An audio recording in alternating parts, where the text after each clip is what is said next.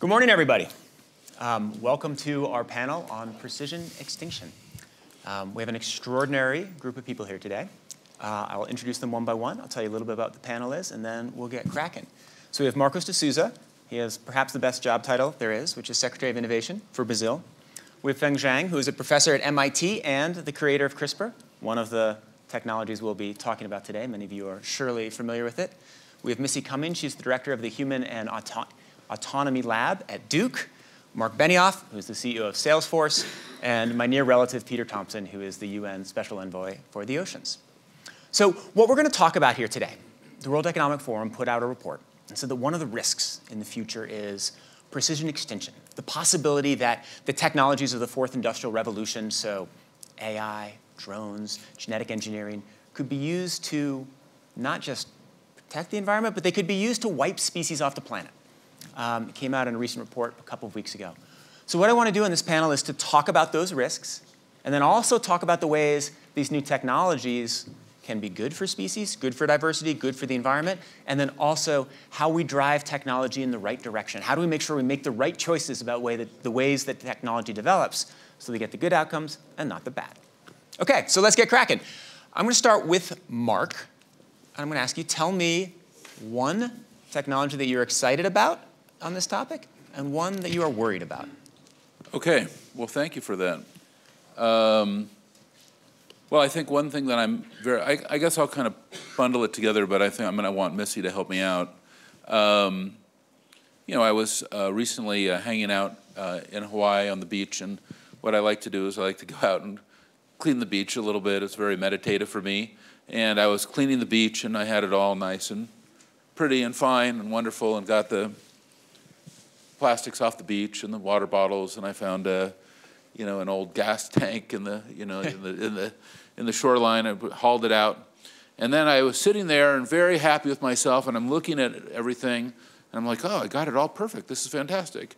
And then I just kind of put my hand down and I dug up, and I noticed that all the microplastics were fully embedded in the beach. You know how that is, Peter, right?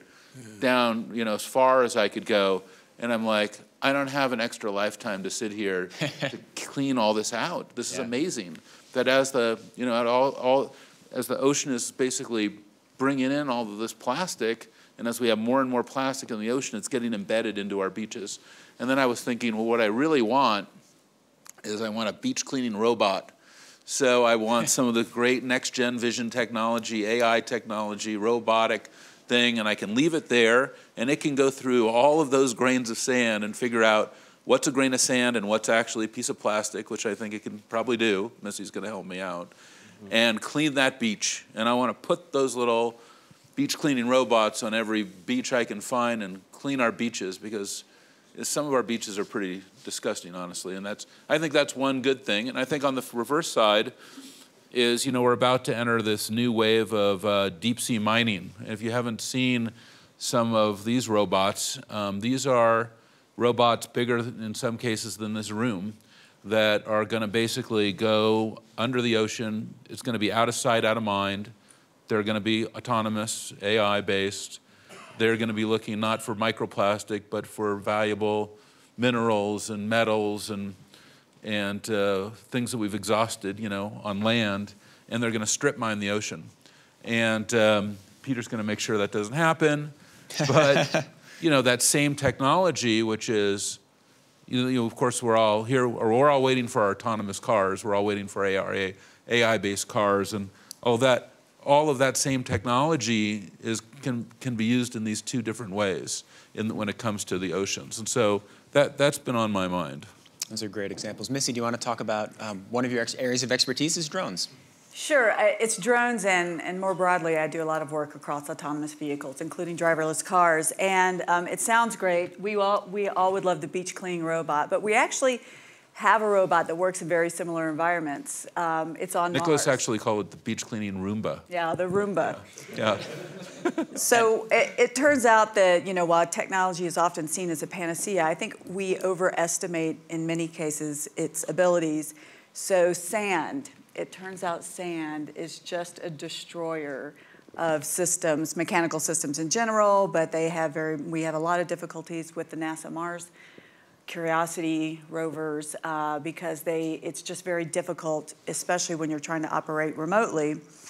Uh, but I would also tell you, while there are clear technical difficulties, for a beach cleaning Roomba robot, my biggest concern would be somebody damaging it, humans, mm-hmm. humans damaging other robots. We've seen a lot of examples across the country where robots are left to do delivery or goodwill, and we're trying to see how humans interact with them, and uh, often humans will destroy them damage them. And so and and I've lived in I lived in the Philippines where you know we would put technology out and then it would be scrapped for parts, right? And so these are in many of the cultures that we're speaking of, we have to understand the context. So it's not just species extinction, it's robot extinction. Well, uh, you know, there's this. But then I will tell you on the flip side, the, the thing about the deep sea mining with robots, uh, you know, I think that it is, we should be concerned about this and talking about it, but my concerns aren't really with the malevolent use of these technologies, the intentional malevolent use it's the accidental malevolent use. Yeah. AI is definitely opening up Pandora's box. Most applications of AI, we still, particularly when it comes to autonomous vehicles, we really do not understand how the underlying algorithms work. And so I'm much more concerned about accidental damage mm-hmm. that can be profound yeah. as opposed to malevolent damage. That's an excellent point and one I very much want to um, continue on. But let's um, let's continue going. So Feng Zhang, your um, mm-hmm. the technology you help pioneer is often talked about as one of the greatest um, hopes for species preservation and for humans and one of the greatest risks. So briefly describe what CRISPR is for everybody. Mm-hmm. Most people probably know, but let's do a brief recap and then mm-hmm. something that excites you in this front and something that scares you. Sounds good. Um, so CRISPR is a uh, gene editing technology. Uh, it's a way, it's a molecular tool that allows us to go into the DNA of cells and start to make very precise changes uh, to the DNA. So there are a lot of different applications for this technology imagine if we know what mutations cause cancer or which mutation cause uh, metabolic disease, we can use CRISPR to go into cells in our body and get rid of that mutation and then be able to treat the disease. In agriculture, um, we can also use it to introduce traits that are beneficial. Uh, drought resistance, cold resistance, virus resistance.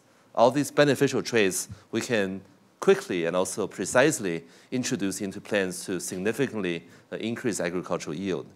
So there are a lot of different applications, um, and, and the one thing that really excites me is really the convergence of both our ability to read DNA and also to write DNA.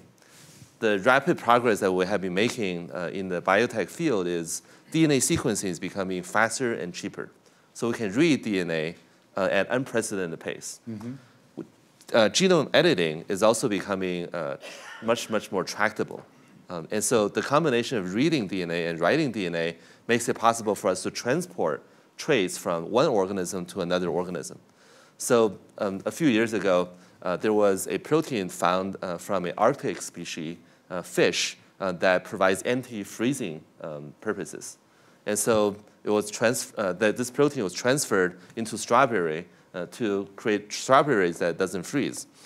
Uh, inadvertently, that protein also turned the strawberry into blue rather than red. um, it's kind of a strange strawberry.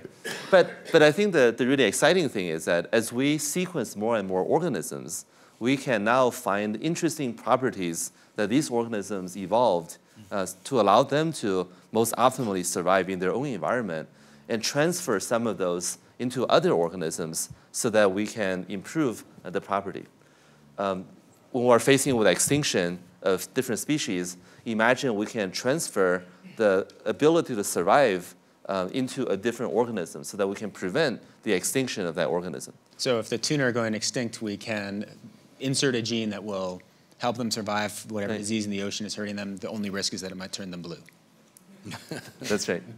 um, Marcos, let's talk about Brazil. You know, you've heard um, these three talk about some of the technologies they're looking for, some of the risks they see. Tell me how you think it, it might play out in Brazil for good and for ill. You have obviously rainforests, which the whole world cares deeply about. You also have long coastlines. Mm-hmm.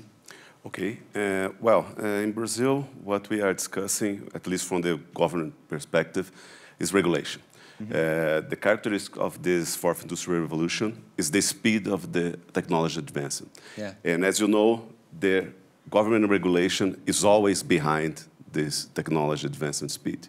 So uh, it's a challenge for us because the other previous revolution, they took longer, mm-hmm. so we could prepare and adapt our regulations properly. But this one is going too fast.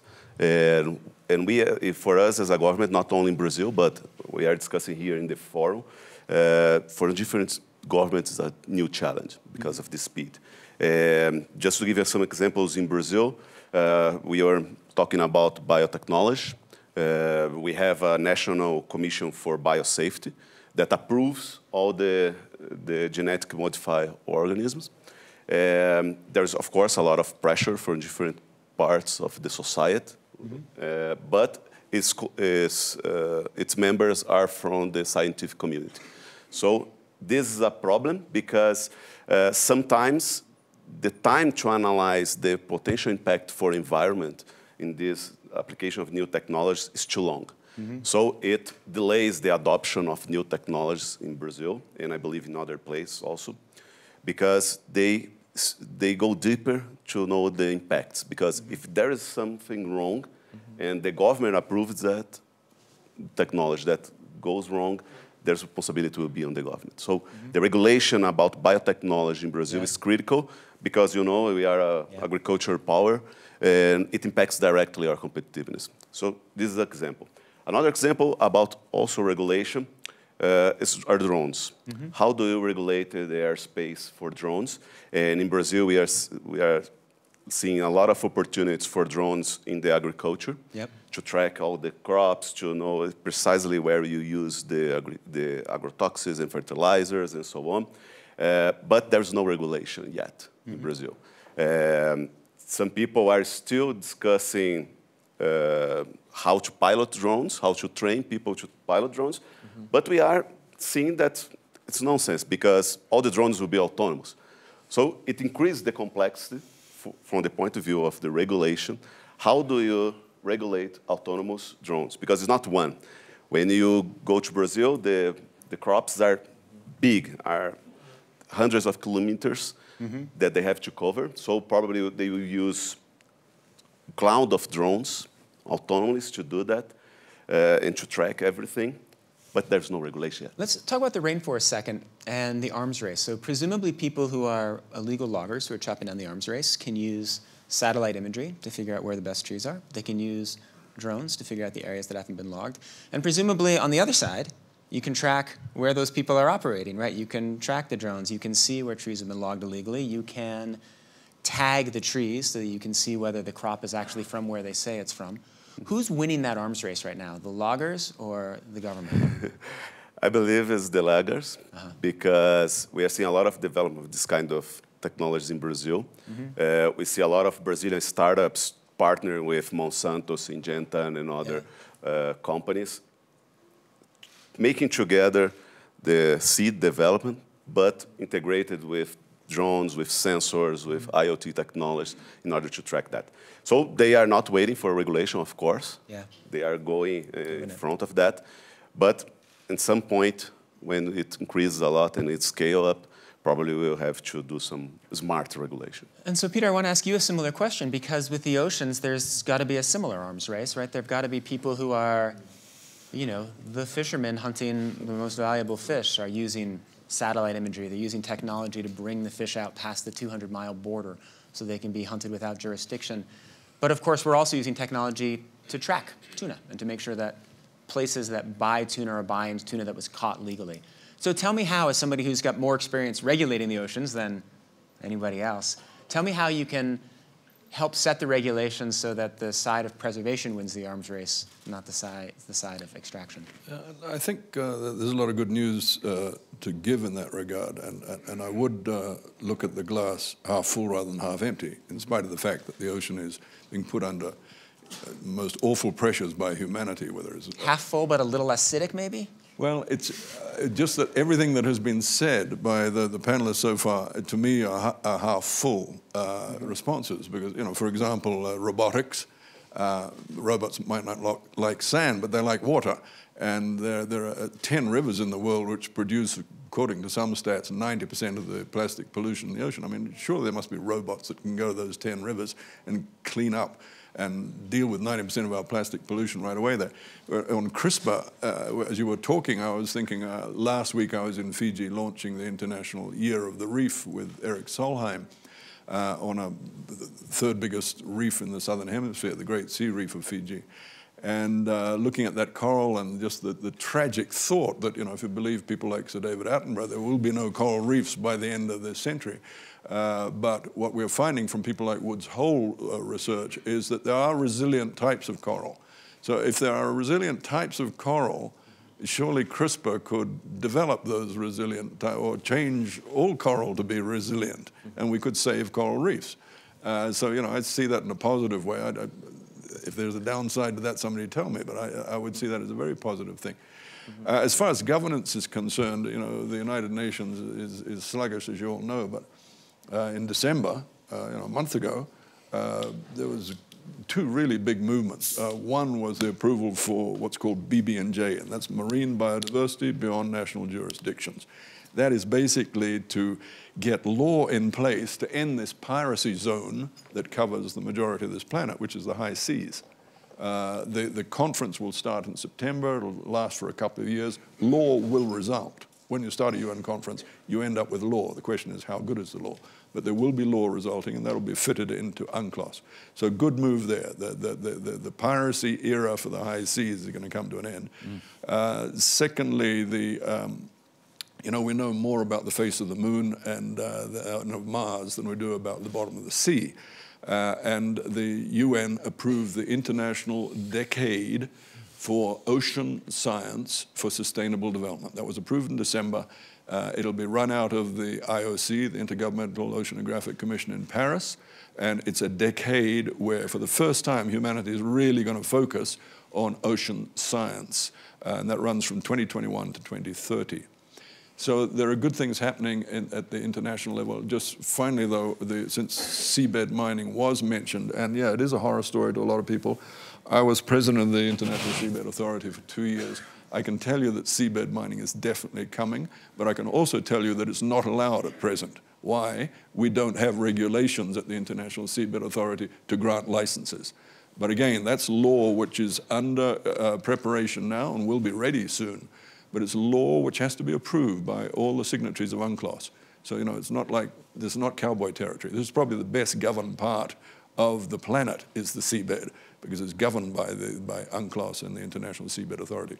But what I've been ramming home to those guys is we must lift the bar very high on the precautionary principle when it comes to that regulation if somebody wants to go seabed mining. They've got to be able to prove to us they're not, they're not going to uh, kill the goose that lays the golden egg. Marc, do you agree? Are you confident that regulations will be able to prevent seabed mining, and are you optimistic that the government can prevent some of the worst technological things that happen in the ocean? Well, I, first of all, Peter's doing an amazing job, and uh, we're so lucky to have him as our UN Ocean Absolutely. Commissioner, and that you know that the world is starting to work on the oceans is so important. I think that that's it's been ignored for far too long, mm. and it's great that we are moving forward. And like what he's mentioning about governance of the high seas, I mean, it's, you know, this, it's the Wild West and still, and it, in that he's leading the charge to rein it in. This is great news for the oceans. And when you look at the major ocean issues, things like acidification, which is seas are getting warmer, you know, global warming is creating a warmer ocean. It's not, it's going to change the biodiversity of the ocean. It's happening. We were talking also that there was a panel here at the conference on, um, led by uh, some very pioneering Chinese scientists on uh, bacteria in the ocean and kind of a revelation that the ocean, if you will, kind of has a biome, yeah. like the human being has a biome, and that this uh, bacteria that they were talking about that they're sampling is at this 25,000 foot level and that how it can hold or control methane uh, release. That was an amazing session uh, here with David Agus. Um, when we look at acidification, when we look at overfishing, you mentioned overfishing, certainly low-hanging yep. satellites, which are emerging, and we're about to have thousands and thousands and thousands of real-time satellite imaging. That's going to dramatically reduce overfishing because we're going to know where every fishing vessel is in real time across the world. We're not going to wait for, you know, this idea of beacons or whatever in the in the ships. We're going to have that inf- information right off the satellites, and um, plastics. I mean, soon we're going to have more plastic in the ocean than fish. This has got to be dealt with. Yeah. And uh, what I hope Missy's going to come up with some robots for us. Uh, but we also saw Boyan Slat is here at the conference who runs ocean cleanup. He's has his big, ex- big experiment where he's going to try to create a passive system for cleaning the ocean. But this this is this is this is this is a big deal. Like Peter said that ninety percent of this ocean garbage is coming from these ten rivers, and I mean everyone. If you've been to the beach anywhere in the world, you, you can see it. Now I was just in Brazil also, and just kind of coming back to all of our role And one thing I, I think that's very important about the fourth industrial revolution, and then we talk about this a lot in our center in San Francisco, is cultures. And how cultures and consciousness also are going to have to change in regards to a lot of this technology, the awareness. Uh, it's one of the really im- important things about a multi-stakeholder dialogue like we're having on stage here, or that's happening at the WEF. But you know, when I was just in Brazil, and you know, I was incredible country, maybe the most beautiful country I've ever been to, and I was out on the beach uh, at night and enjoying uh, the sun coming down, and I noticed that some people are bringing their garbage to the beach because they're waiting for the ocean to come and take the garbage out. And I'm sure that's not true of everybody in Brazil, but I was just noticing, like, wow, that's not happening, you know, where I live. It's a different culture, different consciousness. We need to somehow get everybody on board um, uh, if we're going to save, for example, save our oceans. I want to. You had about 19 extremely interesting things there. I want to focus on one in the middle, which you said the ocean has a microbiome, right? And that we can engineer the microbiome perhaps to change methane absorption or for other reasons. That sounds great. That sounds terrifying. So, um, someone else want to talk about the risks and rewards about messing with the microbiome of the ocean? Sure, I'll, I'll jump in. Um, I, I do think we need to be careful about engineering uh, microorganisms and, and releasing them out in, into the environment. Biology is really complicated. Um, usually within a cell, there are thousands, if not tens of thousands of different genes that play very complicated interactions with each other. When you change one gene, um, predicting that it will uh, help uh, reduce methane or try to uh, improve some property that will be beneficial for us, it's hard to predict how that one protein would interact with all the other things in the cell and change something else about it. I'll give you one example from, from the human therapeutic side, just to give you a sense of the complexity. So about single digit percent of the human population carry a genetic mutation in a gene called CCR5. And those individuals are immune to HIV infection. So you may think that this is a pretty good mutation. Uh, why don't we just vaccinate everybody by removing CCR5 from, from everybody? Turns out, those individuals who are immune to HIV, they have an increased risk for, for West Nile virus. And so even though we don't have a West Nile epidemic right now, Yeah. if we prophylactically install, install that mutation into everybody, then if the virus came, then we'll be really in serious trouble. So when we're engineering organisms in the microbiome in the ocean, uh, especially something that really affects the global environment, I think we'll have to be very careful and, and, and proceed with a lot of caution. Are there other? Yeah, and I think to add to that, we were talking before, but you know, recently we were having some Zika issues in the United States, and there was definitely a very high level discussion in the government, should we use, you know, CRISPR and gene drives Right. to wipe out the mosquitoes so that we, you know, got rid of the carriers. And, you know, the world is a complex system. Human beings are complex systems. And one little change, you don't, you're going to have unintended consequences. And I think that's a very important Okay, but let's go down on this a little bit. So you have to, we have to be cautious. Mm-hmm. Totally agreed. But can we be more precise about that? So let's say that there's a technology that we have a pretty good chance will reduce reduce global warming by sucking down carbon dioxide or reducing methane releases, and we have like a real crisis with global warming. So at what stage do we say, you know what? Let's just do it. Let's try it. Let's re-engineer the ocean. I think one of the things that, especially for biological systems, uh, it would be important to engineer containment mechanisms. So rather than doing something that's irreversible, um, can we engineer a circuit uh, in these biological organisms so that once we release it into the environment, and just in case something goes wrong, we can switch it off. We can we can recall uh, this this strategy back. Missy, you think that's a good idea? Yeah, I was just um, thinking to myself, we already do that in engineering. That's why when you fly commercial jet, it's so safe, is because they're triple redundant, right? So we have two backup systems in technology. Again, though, I would actually say the issues that you see with CRISPR in terms of it sounds good, but there are often these um, unforeseen problems that emerge. It's the same with AI.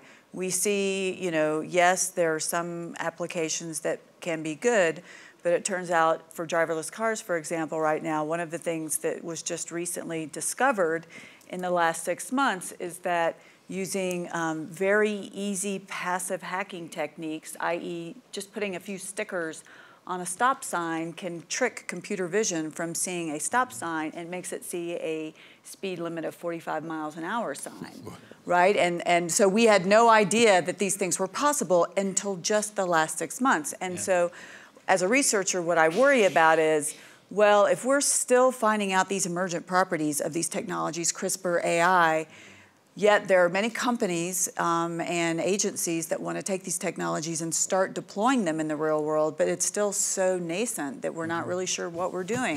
So I do think that it, it needs to be more of a collaborative arrangement between academia and governments and companies to understand what's really mature and what is still very experimental. Well, Peter and Marcos, you want to weigh in on that? What is the role of, um, of government in regulating these technologies and setting policies? Because often government trails behind the technologies and understanding. I was just thinking as the, as the panelists were talking that, you know, geoengineering came up there. Um, you know, the ethics of geoengineering, this is not something that's discussed. Uh, in fact, geoengineering is not discussed much, but as Let's discuss somebody it. rightly pointed out, it, it, it, you know, it needs to be developed as a sort of backup plan, but I think it's the ethics of it. When I was president of the General Assembly, I tried to stimulate uh, we, uh, a, a, day of discussion about ethics of innovation. A lot of people came over from Silicon Valley, Uh-huh. and I tried to put government and, uh, and, the, um, and Silicon Valley together for a day to just start that ethical conversation, because it is missing at the moment. I mean, you have it in the United States for something like CRISPR, I think it has to go to like a Senate uh, ethics committee where they discuss it and so on.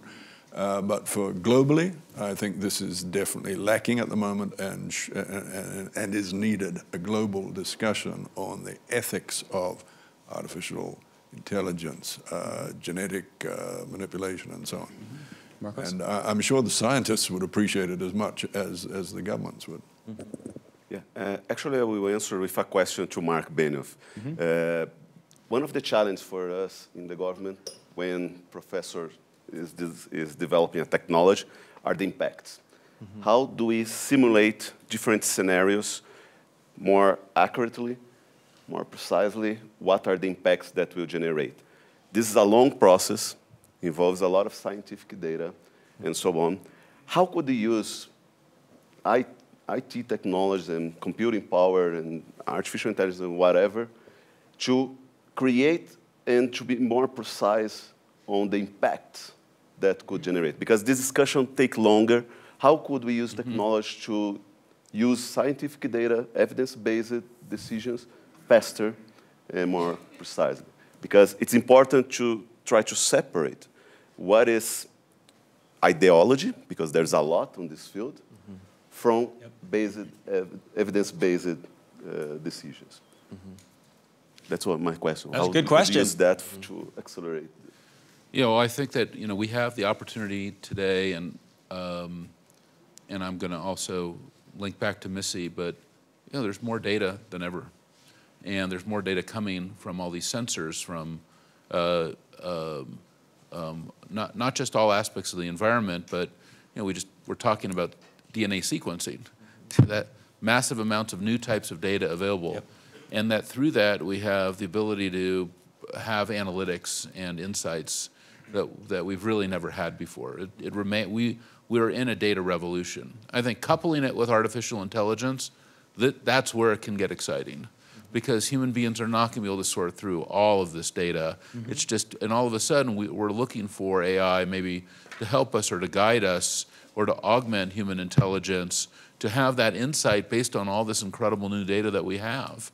And I think that's very much your answer. And, and I think when you look at all the data. You mentioned all the drones you have and the sensors in the environment and all that. When you bring all that in, um, I think you're going to be able to have some tremendous insight. I'll give you a very kind of basic business example. At Salesforce, my company, we're using AI in a way that we've never used it before, and we haven't released it yet to our customers because we're still not sure about it, kind of to Missy's point. Yeah. And, and, and, and how we're using it is we have large databases on how we run our company. And how I run my company in a, as a manual process is every Monday I have a staff meeting, like I'm sure a lot of CEOs do, and I have my top 30 or 40 executives around a table from, it's a virtual table, there's people from all over the world as well as physically with me, and we figure out how we're doing as a company. And we're looking at all of this analysis. But now I have a new person at the table, and it's kind of an empty chair. And um, we have a technology called Einstein. And I, as a CEO, ask Einstein, okay, I heard what everybody said, but Einstein, what do you actually think? And now that I've been using this technology for well over a year, and each and every time I ask it, it always has an insight about an executive or a territory or a product that I would never have seen. There's too much data for me to understand what's going on. Mm-hmm. And also, I have executives, like I'm sure a lot of people do, who are holding back information or gating, what I call gating information from me. They, things they don't want me to know because maybe things aren't going that well. Einstein has no bias.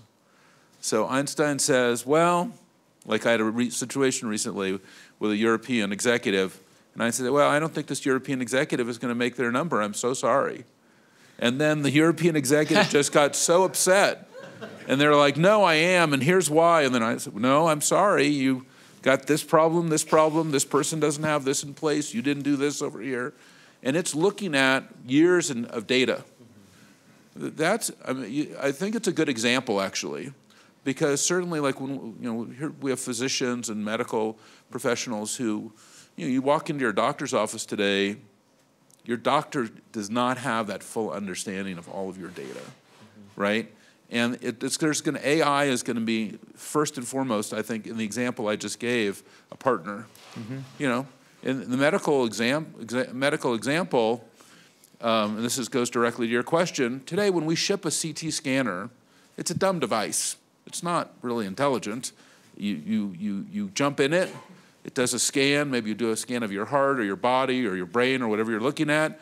And then somebody called a radiologist comes and looks and says, oh, what about this? What about that? What about this? You know, but in the next generation of the CT scanners, it's not going to be a dumb device. It's going to be a smart device, and it's going to be a diagnostic device. That's the leap. And that's actually what you're looking for. Mm-hmm. That is, what the CT scanner is doing is it's generating all of this data, like what's happening in your country with all of your innovation. And then you want that AI, basically, in the scanner to say, oh, yeah, that has a hepatic liver. And we better go look at that. You know, instead of waiting for somebody who knows what that looks like to come in and say, oh, yeah, this is my diagnosis. And I think that that is our next leap in the short term in technology. Things that are, that are previously devices, technology, robots, cars, even, you know, we don't have to make the full leap to autonomous vehicles to have smart cars.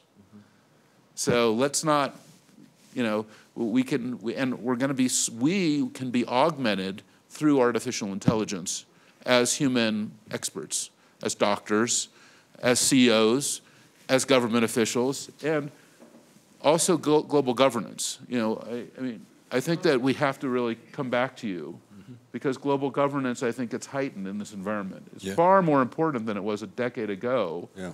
And so there's more of a burden on you. Would you agree with that? Well, I do because uh, when it comes to the ocean, there's only one ocean, and uh, it's um, no good fixing everything in Brazil and leaving everything else unfixed because, um, as we know, things like plastic migrate across the ocean. Uh, fish don't recognize national boundaries, etc.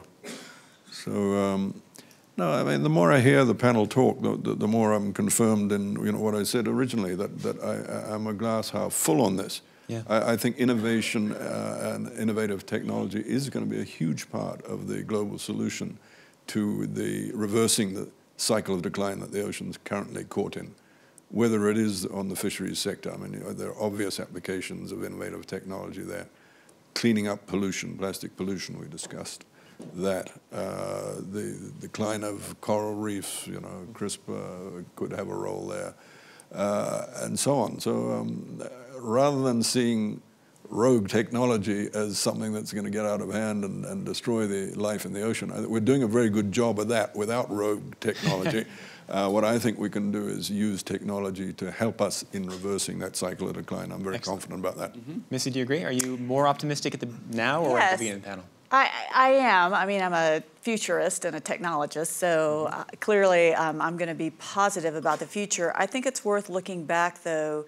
Um, 10 years ago, this community, even here at the World Economic Forum, uh, but more globally, uh, we're very anti drone. So I've been actually doing drone research since 2001. Whoa. That's a long time. So y most of you didn't even know drones were a thing in academia in 2001. And so, you know, and I saw a huge backlash against drones. Really up until about 2013 was the big pivot point, mm-hmm. and it's rare that you can look at a point in time and say technology has, you know, culturally changed, and that's when Jeff Bezos made his announcement that Amazon would start delivery with Yeah. drones.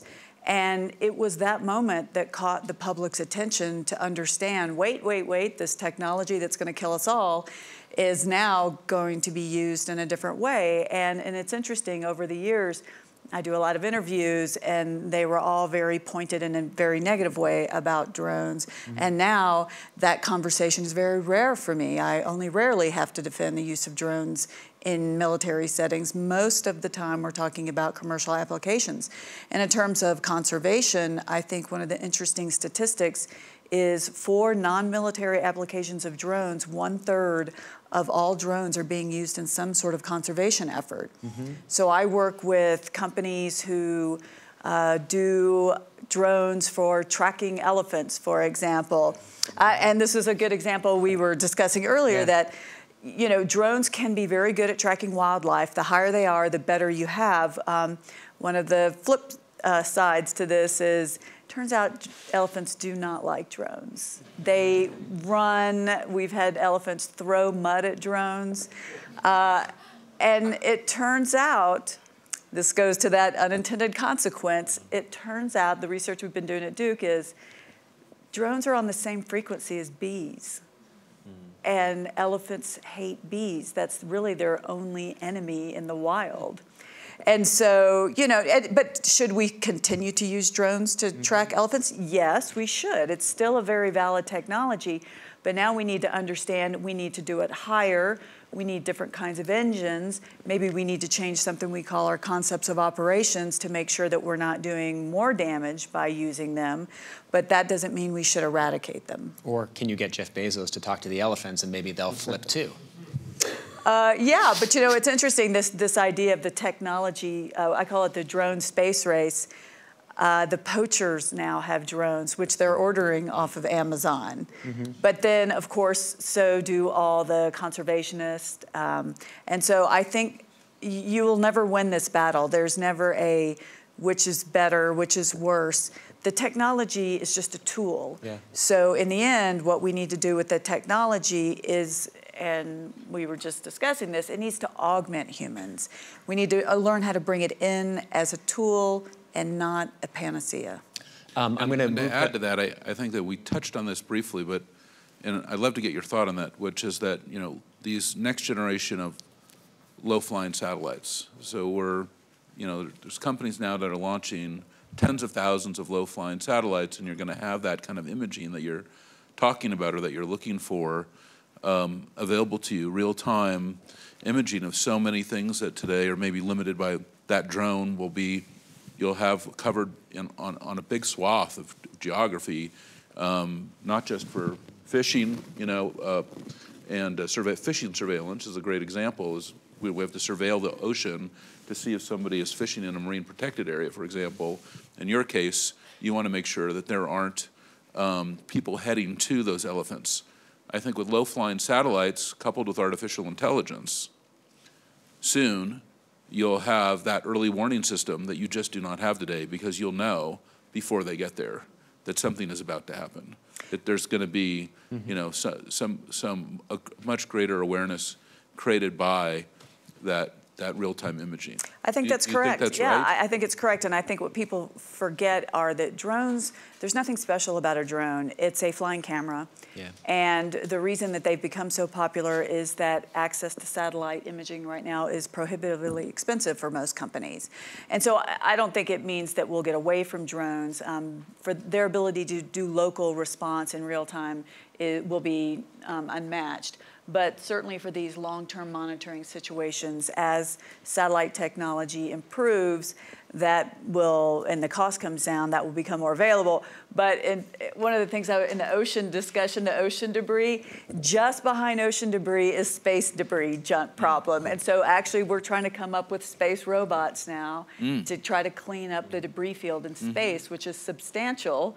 So not nearly as imminent, but also if we're going to go to these massively numbers of low-flying satellites in orbit, um, we actually just don't have the room right now. So we need uh, we need sand cleaning robots, we need ocean cleaning robots, we need space cleaning robots. Um, we have about 15 minutes left. I'd like to start. Uh, I'd like to open it up to the audience. We have five marvelous panelists here. Um, raise your hand and ask some questions. Yes, right there in red. Yeah, I'm, I'm um, fascinated to try to picture the MPC and Einstein. Could you say talk more about how that Einstein works and integrate you over data and Yeah, I think it. I- Actually, well, so, so the live stream can hear. The question was more details about um, Einstein. And I should note for all of the questioners, if you could take the microphone, because that will make it better for our web audience as well. Okay, Marc. Yeah, I'll- I'll try to make it more generic to artificial intelligence in general, but of course, you have very, we have very large data sets in our company. And um, that very large data sets for an average person, CEO, I'm just, you know, how do I make the best decisions? And the way I'm going to make the best decisions is by being able to take all that data and, and, and do that. I think in every single example we went through here, there's more and more data.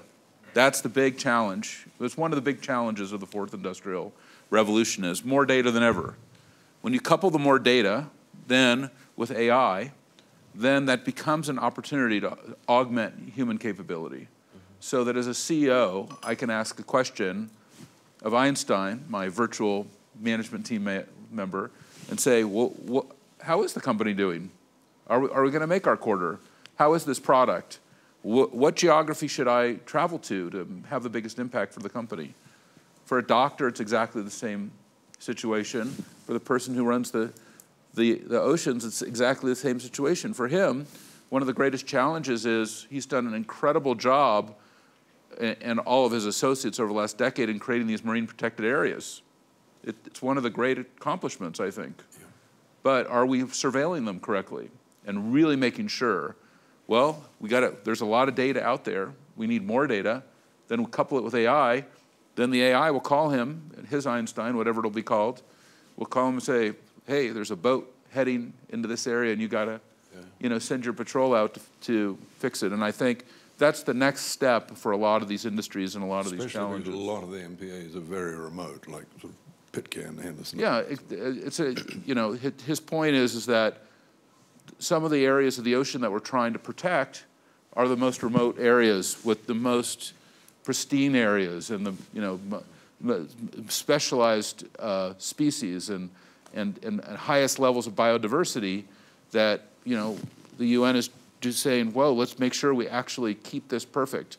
Well, if all of a sudden there's some big trawler heading into that area, we need to make sure he gets a text, you know, Yeah. at three in the morning, and that they send there, Yeah. you know, notify that gov- local government, whoever it is, to send that patrol out and stop that boat. Today, we can't, we can't really do that in real time with that kind of efficacy. The same efficacy that I'm mentioning when I'm running my company, or the same efficacy that a doctor can in terms of diagnostic or But we, that is the short-term leap for technology. That is, within the next few years, right? Would you agree? Oh, This- yeah. This is Absolutely. Yeah, this is where we are today. We are right there, and I think for a lot of, you know, like I said, we have it now internally. I think one of the reasons that I am, you know, had good performance as a CEO is I have this kind of technology and I want to make that available to all my customers, but I am cautious because it has not been all perfect. there have been issues. We're in a, we're in a world, and that's another example, where it's like, okay, I don't want to turn this over and then get a call from the CEO uh, that he or she made a bad decision about the, because we didn't have this exactly right yet. Well, I happen to know from the green room that Peter was up at 3 in the morning, so he'll get the text from Einstein. Uh, we had a question here in the front row.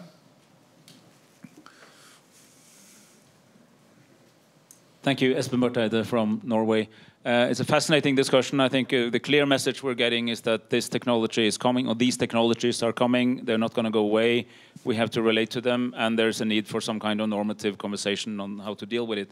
So my challenge to anyone in the panel is what exactly is the place and the content uh, of a what do we want to regulate or we want to put a normal normative framework on it, but what should it say?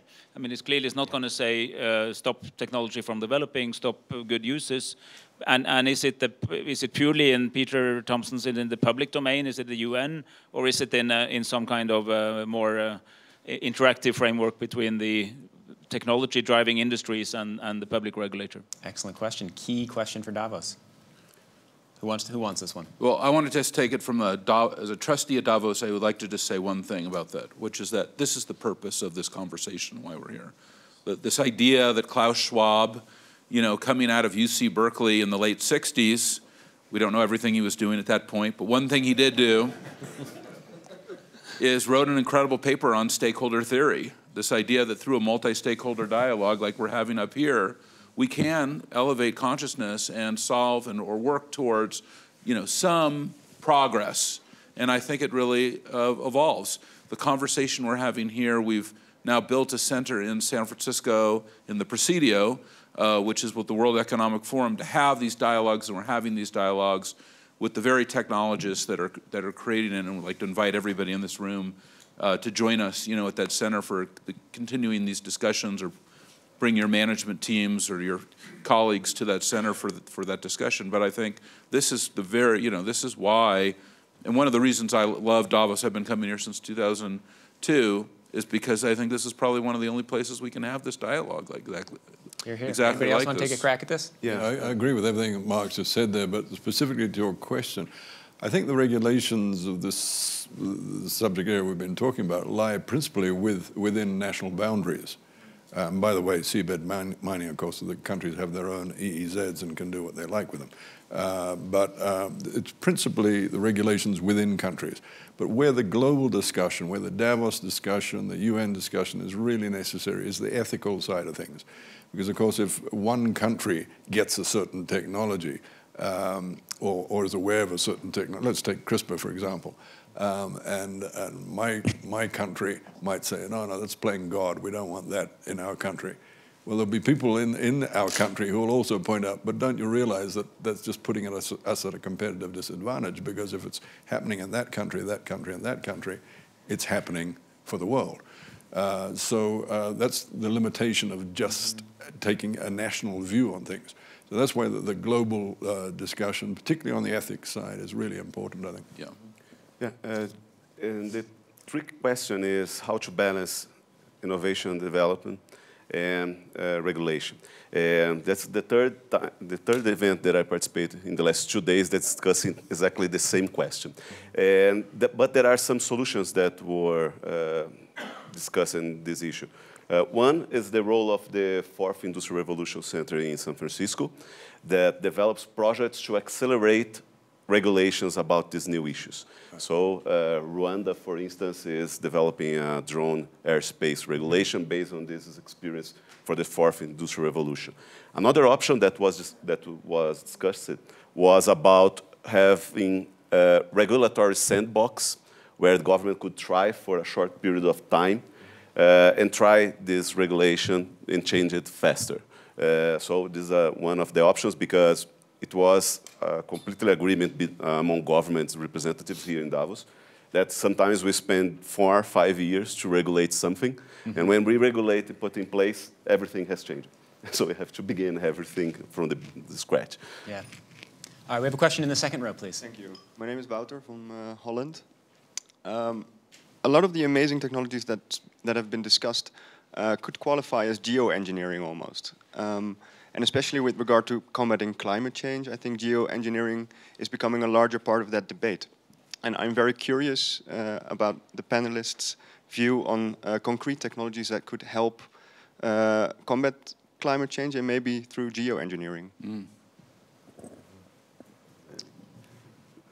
I, I'll just say that that's a great question because in my the little you know we all live in little filter bubbles. Perhaps the most divisive issue is geoengineering, right? Because so many people feel like we've got to do it. We have to do it now. It's the best hope. We have to you know shoot sulfates into the atmosphere. We have to pull down carbon dioxide. And then other half the people I work with and know are like, well, I don't know. You start even talking about that, then we'll stop reducing, reusing, and recycling. It's an awesome issue to discuss. So, experts, what should we do? So, so I think on the biological side, um, I think it's quite promising because um, when we talk about engineering biological organisms and then releasing that into the environment, um, because we're, we're starting to learn how to program biology, we can begin to build these control, controllable circuits with redundancy so that when you do release this geoengineering solution that's biologically inspired and, and based, uh, it's possible to have the ability to reverse it. That's right. Yeah. I wanted to ask you this earlier, but you know we've been talking about AI, and we've been talking about AI at levels that the humans don't understand, right? So this is the wonderful thing about where AI is going, where Einstein will make predictions and you don't even know how Einstein made the predictions. So as we reach that level of sophistication, does it make it harder to build in a kill switch? Like if we're not sure how the system's operating, how do we know we can turn the system off? it's a good question. I, I, think I think AI will help us understand more, because as we as we collect more data, uh, both um, just the sequences of biological material, but also the interaction of how biological programs work. Um, AI will help us understand and be able to predict if you perturb one element of this complex program, how is that going to affect the overall execution in that organism? Um, so I see that as a positive thing. Mm -hmm. Okay. Well, uh, and to add to that, you don't have to go any farther than look at the elections mm -hmm. and what happened with social media and what's happened in the last 90 days, and social media CEOs uh, talking about the unintended consequences of social media technology. We don't have to make the jump all the way to CRISPR and AI and robotics. you can just look at the current news stories and front page stories of CEOs who make this statement. I didn't realize that our technology could be used like that. We just didn't understand the technology that we built. We didn't understand that that could happen. Right. Am I right? Isn't that the story? That is the story of the last two months in technology. The story of the last two years in technology. Yeah, the reckoning that, is the big that, story. That's an example, right? So that's we're not going to the most sophisticated. We don't have to go all the way to. We don't have to go all the way to gene drives. Right. We don't even understand Twitter. it's true. I mean, it's an, it's a great point. Spot on. So I think that that's an illumination. I think the other illumination has to. We have to come back to here, where you know when we look at artificial intelligence, the ability to have this dramatic impact, and we talk about it making us healthier, wealthier, smarter, um, I think you have to start to ask, is this about haves and have-nots when it comes to AI, exactly. especially in regards to global governance? You know, when I walk into the UN, we talk about all the human rights, right? Isn't there so like a big wall that talks about these are the rights of human, is that right? Absolutely. Yeah, and so I wanted to ask you, based on what you're hearing, is AI a basic human right? Should it be on that wall? Should all human beings have access to this technology since this is going to be so important going forward? You know, I think, Marc, you're touching on something that is uh, absolutely at the core of everything I hear coming out of uh, Silicon Valley. Uh, made a trip over there, as I mentioned, uh, uh, and I came away from there seeing a new vision of the world yeah, you know, all drive, I drove around in the driverless cars and, you know, I saw the AI and what it could do and all the rest. A week later, I was doing a tour of Africa, you know, I was in Central African Republic and uh, Addis and things, and I was in, in, the congestion of camel carts and trucks, huge trucks, and uh, all those different forms going through, you know, potholed roads and everything.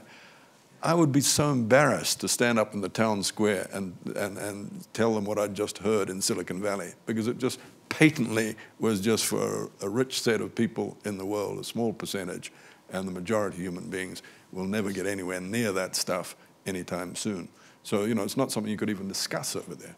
So I think we have to be aware that uh, you know, we, we, we, cannot be shaping a future where, where, you know, that would be the dystopia for me. Yeah, that, so does, that half of us or a quarter of us live in this amazing world where we live forever and the rest of us are, are peasants sitting in our countries like Fiji and Africa. So does equality then become a major discussion point when it re in regards to all of these technologies? Is, is you know, that that's why I keep coming back to this, this point about ethics. I think that is in the, it should be in the global commons, that we have that ethical discussion of where, where is AI taking us all. Uh, and employment, all, the, all those arguments are, are, are, common problems for us, not just for uh, rich countries. All right, so we have time for one last question. So here in the second row. I have a question for, uh, sorry, Douglas McCauley, University of California, Santa Barbara. I have a question for the academics and the representatives from governance. So companies like Marc's are on the cutting edge of developing new technologies to streamline efficiency and problem solve in business. Are these technologies that are being developed in industry getting to researchers, conservationists, getting to governance, getting to managers of these systems fast enough? And are, are they there for application yeah. and use? I'd like to just answer a slight derivative of that because I think it will help you understand the broader context. Um, we are in a global AI crisis right now for talent. We cannot, universities cannot put out enough mm. people who understand AI. AI is many things. It's actually a very broad umbrella. AI is very good for, for a lot of what we heard here is post hoc analytical reasoning, um, but that's very different from AI that controls safety critical systems like cars and planes, and uh, we don't have enough across the spectrum. So you say, are, we, uh, is, are these good lessons learned getting to the companies? The answer is probably not, because companies are running so fast on the AI hamster wheel that they can't keep up. We can't keep up enough in producing the people. And this compressed timeline for education means that we, me, other professors here, we're producing people that probably are not getting the comprehensive education in AI mm. that they need because we are working to get them out so fast. Mm. Education programs are very archaic. Mm-hmm. We want to stick with the, the way that we went through school. We still train people in the university setting globally like we did 30 years ago, and that's just simply not a good model anymore. So there's a lot to be done, I think, in the education sphere. Yeah, I think that's a really good point. And I think it's really not just AI, it's really more broadly for highly skilled, trained uh, people coming out of academia. Uh, we are not producing enough of them quickly enough. Uh, from the government perspective, uh, we are discussing exactly this yesterday. Uh, first of all, governments are conservative and no risk taker. Uh, business is the opposite. The challenge is how do we use technology that, you, as you mentioned, developed for business, for the government use? Uh, the first step is the lack of knowledge. The most part of the government, at least in developing countries, but also I have colleagues from developed countries that have no idea about anything what we are talking about here, mm -hmm. about, about the potential of this technology. So the first point is the lack of knowledge. The second one, okay, if they understand what are the possibilities, the second question is if it's right or wrong, but it's a risk take. So it's a responsibility from the government if they adopt some kind of technology at, uh, in an early stage. Mm -hmm. uh, what are the responsibilities if it goes wrong? Mm -hmm. uh, for the public opinion and for the auditing bodies that make our uh, auditing for government. Uh, so we have to develop some kind of pilot projects, that's one of the discussion that we had, where companies could join the government, sometimes for free, just to develop and showcase the opportunities.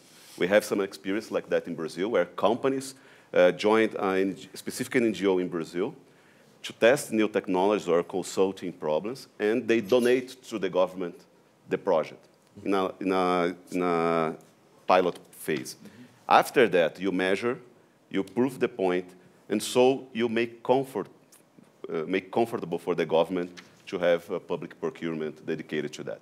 So these are the main challenges and face that not only Brazilian government, other governments also face. Uh, the lack of knowledge, how do we implement this technology in a risk uh, environment? And third, what are the responsibilities and how to scale up this project if it works? So I think we should develop a more close cooperation between government and business in order to solve this problem that you mentioned. All right, this panel has a kill switch. I've got to exercise it. Um, thank you all for coming. I would recommend that next year the same five panelists be invited back, but we do it with six and we add Einstein. So thank you all for coming, uh, and thank you for a great panel.